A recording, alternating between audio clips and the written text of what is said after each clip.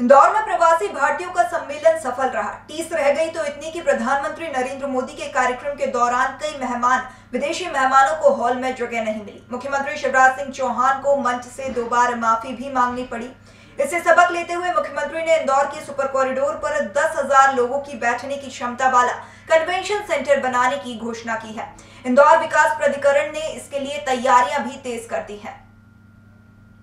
और आपको बता दें कि इंदौर विकास प्राधिकरण की बोर्ड बैठक में दस हज़ार लोगों की बैठक क्षमता वाले कन्वेंशन सेंटर बनाने के प्रस्ताव को मंजूरी दी गई है। बता दें, यह कन्वेंशन सेंटर सुपर कॉरिडोर पर बनेगा। इसके लिए स्कीम एक सौ बहत्तर में जगह चिन्हित की गई है।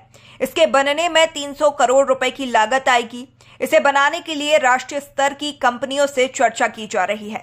जनवरी माह में इंदौर में हुए एनआरआई सम्मेलन के आखिरी दिन मुख्यमंत्री शिवराज सिंह चौहान ने इंदौर में इसके बनाए जाने की घोषणा की थी। इस संबंध में उन्होंने आईडीए अध्यक्ष जयपाल सिंह चावड़ा को निर्देशित भी किया था। इसके बाद से ही आईडीए नया कन्वेंशन सेंटर बनाने की तैयारी में जुट गया था। इंदौर विकास प्राधिकरण शहर के विकास के लिए कृत संकल्पित है और हम लगातार उस दिशा में बढ़ रहे हैं।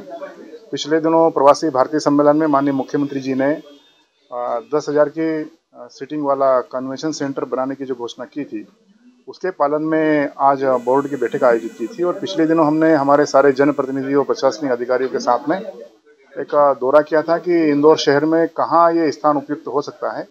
वो एक सौ बहत्तर नंबर स्कीम हमारी जो है सुपर कॉरिडोर पर वो स्थान सबने उपयुक्त माना और उसी विषय को आज बोर्ड में रखा गया था।